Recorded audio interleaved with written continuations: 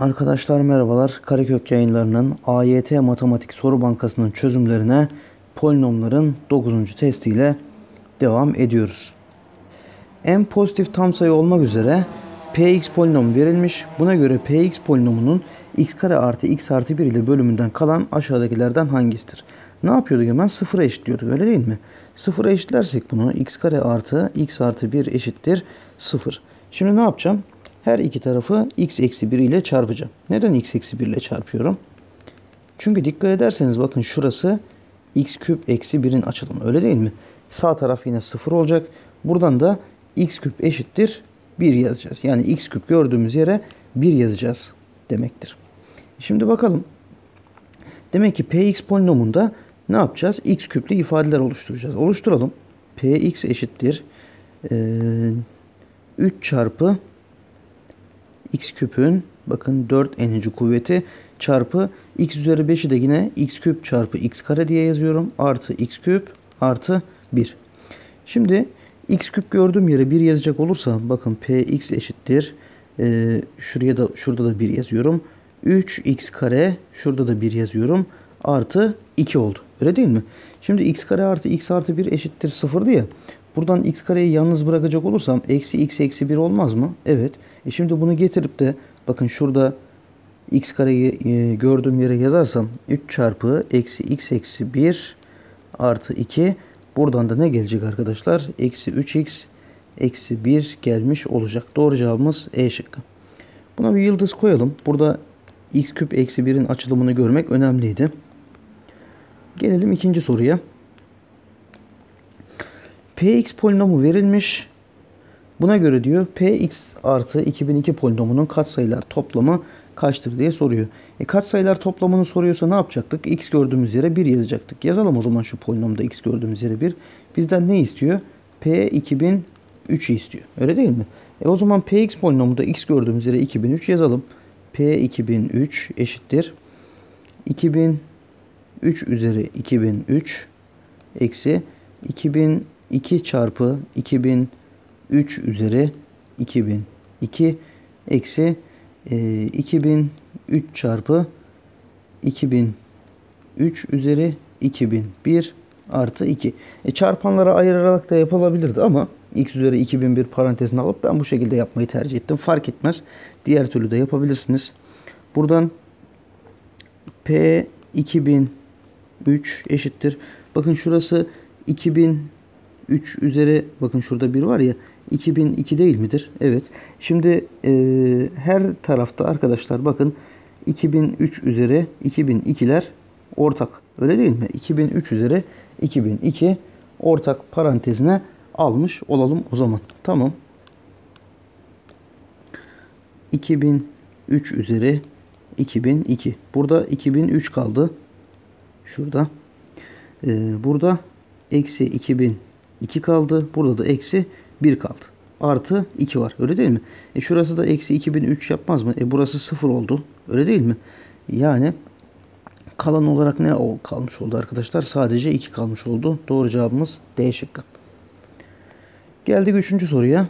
Px artı 1 bakın polinomu verilmiş. Px polinomunun x eksi 3 ile bölümünden kalan 18. Ne yapıyorum? 0 eşitliyorum. x gördüğüm yere 3 yazıyorum. Yani P3 eşittir 18'miş. Sabit terimi kaçtır diyor. x gördüğüm yere 0 yazacaktım. Sabit terimi sorduğunda burada x gördüğüm yere 0 yazarsam demek ki benden P eksi 1'i istiyor arkadaşlar. Şimdi şu eşitliği kullanabilmek adına Px artı 1 polinomunda x gördüğüm yere 2 yazacağım. Değil mi? X gördüğüm yere 2 yazacağım. Ve P3 polinomunu elde edeceğim. X gördüğüm yere 2 yazarsam dikkat ederseniz burası 0 oluyor değil mi arkadaşlar? 3A çarpı 2'den ne yapar? 6X hatta 6A X gördüğümüz yere 2 yazıyorduk ki 6A artı 6 eşittir. 18'den buradan A ne yapacak? 2 yapacak arkadaşlar. E o zaman benim şimdi e, polinomum ne olmuş oldu? Bakın hemen şurada e, yazacak olursam biraz tembellik yapalım. A gördüğüm yere 2 yazarsam burası 6x olmuş olur. Öyle değil mi? Komple. E bizden p eksi 1'i istiyordu ya. O zaman x gördüğüm yere eksi 2 yazmam lazım. x gördüğüm yere eksi 2 yazarsam eksi 2'nin karesi 4. 4 eksi 4'ten bakın yine burası sıfırlandı. e, 6 çarpı eksi 2 artı 6'dan ne yaptı? Eksi 6 gelmiş oldu. Doğru cevabımız B şıkkı. Geldik dördüncü sorumuza.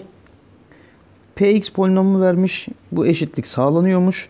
Bakın P0 artı P1 artı P2 13 olduğuna göre M kaçtır diye soruyor arkadaşlar. E ben burada X eşittir 1 için diyeyim. Şurada. Ne oldu? P2 artı P2 eşittir. X gördüğüm yere 1 yazdığım zaman M artı 8 geldi. E buradan P2 ne olacak o zaman? M artı 8 bölü 2 gelecek. Öyle değil mi? Şimdi X eşittir 0 için diyelim.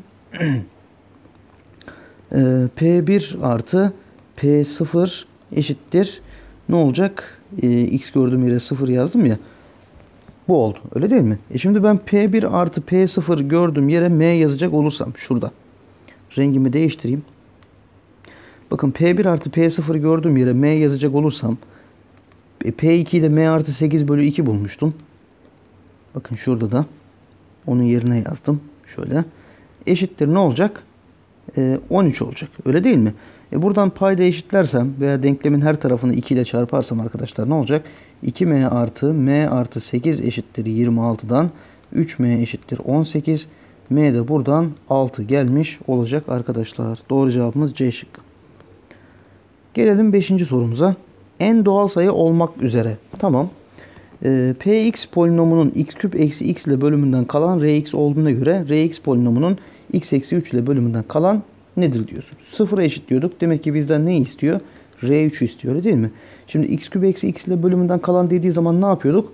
Hemen sıfıra eşitliyorduk. E, bu da x küp gördüğün yere x yaz demekti. E bakıyorum px polinomunda e, x küplü ifade var mı? Yok. E şimdi n bir doğal sayı diyordu ya burada. O zaman x küplü ifade oluşturabilmek için n yerine ne, ne verelim?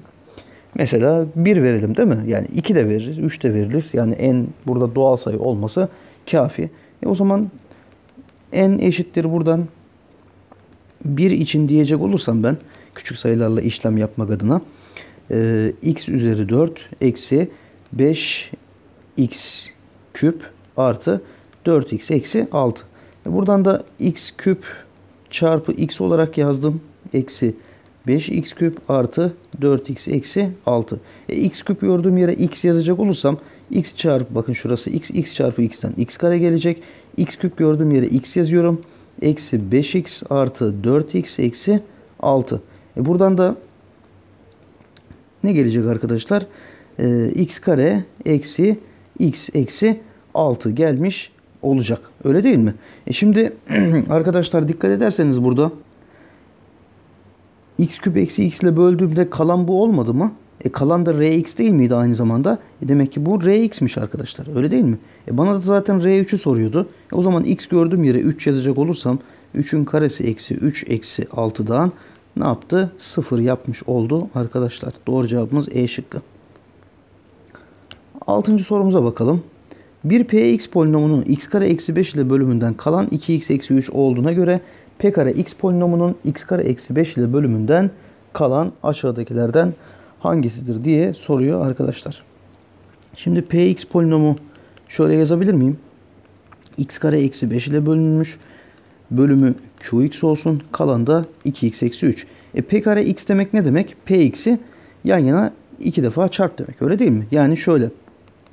x kare eksi 5 çarpı qx artı 2x eksi 3 çarpı x kare eksi 5 çarpı qx artı 2x eksi 3. Öyle değil mi? E tamam. x kare eksi 5 ile bölümünden kalanı diyor ya. Şimdi arkadaşlar e, kısa yolunu daha sonradan göstereceğim. Şu anda normal yoldan anlatıyorum. Bakın bununla bunu çarptığım zaman x kare eksi 5 çarpanı olduğundan bölüm e, kalan 0 olur. Öyle değil mi? E ben şimdi bununla da bunu çarptığım zaman yine x kare eksi 5 çarpanı olmuş oluyor. E yine kalan 0 olmuş olur. E şimdi bununla bakın bununla rengimi değiştireyim. Daha anlaşılır olsun. Bununla bakın x kare eksi 5'i çarpı qx'i çarptığım zaman x kare eksi 5 çarpanı var. Öyle değil mi? Evet. E şimdi son olarak da ne oluyor arkadaşlar? 2x eksi 3 ile 2x eksi 3'ü çarpacağım. Yani 2x eksi 3'ün karesi gelmiş oluyor. Öyle değil mi? Şimdi ben direkt bir şekilde e, bu tip sorularda kalan her zaman e, buradaki şuradaki 2x eksi 3'ün karesi şeklinde olur da diyebiliriz, genelleştirebiliriz ama nereden geldiğini göstermek istedim. Şimdi buradan bunu açacak olursak arkadaşlar ne olacak? 4x kare eksi 12x artı 9. E şimdi buradan x kare eksi 5 ile bölümünden diyordu ya. Bunu ne yapacağım arkadaşlar? Sıfıra eşitleyeceğim. x kare gördüğüm yere de ne yazacağım? 5 yazmış olacağım. E burada yazalım x kare gördüğüm yere 5. 4 çarpı 5'ten 20 gelecek. Eksi 12x artı 9'dan 29 eksi 12x gelmiş olacak cevabımız. Doğru cevabımız B şıkkı. Bence güzel soru. İşaret koyalım buna. Yedinci sorumuza geldik. Üçüncü dereceden bir px polinomu x eksi 1, x eksi 2 ve x eksi 3 ile ayrı ayrı tam bölünebilmektedir diyor. O zaman ben px polinomumu şöyle kurgulayabilir miyim? Bunlara tam bölünecekse içinde kesinlikle x eksi 1 çarpanı olacak, x eksi 2 çarpanı ve x eksi 3 çarpanı olacak. E kat sayısını bilmiyorum. E kat sayısına da a diyelim. Şimdi o zaman P5'i soruyor. Bakın P5 ne olur? A çarpı 4 çarpı 3 çarpı 2 olur. P4'ü yazalım. A çarpı 3 çarpı 2 çarpı 1. E bunların oranını istiyor. E oranlayalım. Bakın A'lar gitti. 3'ler gitti. 2'ler gitti. Ne kaldı geriye? 4 kalmış oldu. Doğru cevabımız D şıkkı. Px artı 7 polinomunun Px eksi 8 ile bölümünden kalan 4x eksi a. Şimdi bunu bir önceki testte de yapmıştık buna benzer soru hatırlıyorsunuz değil mi?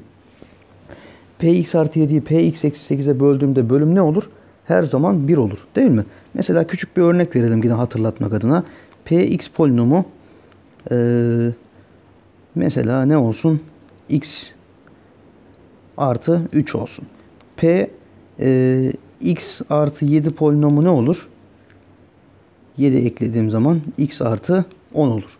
E, p x eksi 8'i bulalım. X gördüğüm yere ne yazacağım? x eksi 8 yazacağım. Bu da x eksi 5 mi olacak? E ben şimdi p x artı 7'yi p x eksi 8'e böldüğüm zaman yani x artı 10'u x eksi 5'e böldüğüm zaman bakın bölüm ne oluyor? Bir defa olmuş oluyor öyle değil mi? Bölüm her zaman 1 olmuş oluyor arkadaşlar. Bu hatırlatmayı da yaptıktan sonra şimdi çözümümüze geçelim. px artı 7'yi bakın px eksi 8'e böleceğim. Bölüm ne olacak? 1 olacak. Kalan da 4x eksi a'ymış. Benzer şekilde px eksi 8'i px artı 7'ye böldüğüm zaman da bölüm 1 gelecek. Kalan da bx eksi 12'ymiş. E ben şimdi bunları taraf tarafa toplarsam. Neden? Çünkü şu px artı 7'ler ve px eksi 8'ler birbirine götürsün diye. E buna göre 4x eksi a şu bx eksi 12'yi de karşı tarafa atarsam eksi bx artı 12 olacak. Buradan b eşittir eksi 4 a eşittir eksi 12 olacak. Öyle değil mi? Bizden ne istiyor? A artı B istiyor. A artı B ne olur? Eksi 12 eksi 4 eksi 16 olmuş. Olur ki doğru cevabımız E şıkkı. Bu da güzel soru. Buna yine işaret koyalım. Bir önceki sorumuzda da testimizde de işaret koymuştuk ama yine koyalım. Dokuzuncu sorumuza bakalım. Baş katsayısı 1 olan bir px polinomu için bakın eşitliği veriliyor. Buna göre a değeri aşağıdakilerden hangisi olabilir diye soruyor arkadaşlar. Şimdi bakalım. Bakalım. Ne diyelim? Px polinomumuzu şöyle bir kurgulayalım. Px eşittir e, x üzeri n gibi kurgulayalım arkadaşlar. Bizde aslında polinomun neyini soruyor? A'yı soruyor ya. A burada polinomun katsayısı. Öyle değil mi? Şimdi o zaman Px polinomu x üzeri n ile başlasın. Devamı çok önemli değil. Çünkü katsayıyı soruyor. Baş katsayıyı soruyor. E şimdi P 2x artı 1 ne olur buradan? 2x artı 1 üzeri n olmaz mı? Devamı çok da önemli değil. O zaman bakın şuradaki e, ifadede P2x artı 1 yerine 2x artı 1 üzeri n eksi 2 e, x üzeri n gelmez mi? Buradan ne olacak? E, 2 üzeri n şuradan çarpı x üzeri n eksi 2x üzeri n gelmiş olacak değil mi? Devamı var da çok da önemli değil. E burada x üzeri n'ler ortak. 2 üzeri n eksi 2 gelmeyecek mi? E karşı tarafta da e, bakın baş katsayı neydi? A'ydı değil mi? Bunun A'ya eşit olması lazım. Yani şunun A'ya eşit olması lazım. A çarpı x üzeri n ya. Gerisi önemli değil. E buradan 2 üzeri n eksi 2 eşittir A. A ne olabilir diye soruyor ya arkadaşlar. A yerine 3 yazsam 3 artı 2 5. 2'nin herhangi bir kuvveti 5 yapar mı? Hayır. Yapmaz. O zaman 3 olamaz. Öyle değil mi? 3'ü eledik. E, A yerine 4 yazsam 4 artı 2'den 6. Hatta şöyle yazayım. Bak 2 üzeri eşittir A artı 2 ya. E, 4 yazsam 6 yaptı. E, 2'nin herhangi bir kuvveti 6 yapmaz. A yerine 6 yazsam 8. Buradan n 3 gelir. Öyle değil mi? Yani A buradan 6 olabilirmiş. Doğru cevabımız C şık. Diğer şekilde diğer e, D ve E şıklarını denediğiniz zaman da gelmeyecek arkadaşlar. Evet 10. soruya bakalım. Olduğuna göre diyor bu oran kaçtır diyor. Değil mi? Evet A0, A1 böyle A24'e kadar gitmiş. Bakın şurada dikkat ederseniz e, çift dereceli terimler var. Öyle değil mi? E, çift dereceli terimlerin nasıl bulunduğunu biz biliyoruz. P1 artı P eksi 1 bölü 2. Öyle değil mi? E bakalım o zaman buna. P1'i nasıl bulurum? X gördüğüm yere şurada 1 yazarak. E 1 yazarsam 0 olmaz mı? Evet. E, artı P eksi 1 yazdığım zaman ne olacak? 1 eksi 1 eksi 2. Eksi 2'nin 6. kuvveti o da 64 mi yapıyor? 64 bölü 2'den 32 geldi. Bu çift dereceli. Öyle değil mi? Tamam çift dereceyi bulduk. E şimdi alttakine de baktığımız zaman arkadaşlar tek dereceli terimlerin katsayısı yok mu? E tek dereceli terimlerin katsayısı da P eksi 1 eksi P şuradan fark etmez de P 1 eksi P eksi 1 bölü 2 değil mi? Evet. E, P1 yine benzer şekilde 0 gelecek. Eksi e, diğerinde zaten bulmuştuk. 64 bulmuştuk. P eksi 1'e öyle değil mi? Bölü 2'den buradan da eksi 32 gelecek. E 32 bölü eksi 32'den de cevabımız eksi 1 gelmiş olacak arkadaşlar. Doğru cevabımız C şıkkı. Bence güzel soru. Buna da bir işaret koyalım. Gelelim 11. soruya. Px, Qx birer polinom ve Px artı 1'in Qx eksi 1'e bölünümü x, x kare artı 2'ymiş. Qx'in x eksi 1 ile bölümünden kalan 2'dir. Hemen sıfıra eşitleyelim. Buradan Q1 eşittir 2'ymiş. Bakın şurada da sıfıra eşitlediğim zaman x gördüğüm yere 5 yazayım şurada. P 3'ü soruyor bize. E şimdi P3'ü elde edebilmek adına x gördüğüm yere 2 yazmam lazım. Öyle değil mi? x eşittir 2 için P3 bölü e, Q1 eşittir. X gördüğümüz yere 2 yazıyorum. 2'nin karesi 4. 4 artı 2'den 6. E, Q1'in ben 2 olduğunu biliyorum. İşler dışlar çarpımı yaparsam P3 eşittir 12 bulunmuş olur. Doğru cevabımız B şık. Geldik son sorumuza. Her x gerçel sayısı için bakın buradaki eşitliği vermiş. A artı C artı E nedir diye soruyor. E şimdi A artı C artı E'ye baktığınız zaman arkadaşlar şunların derecelerine bakalım. A, C, E'nin.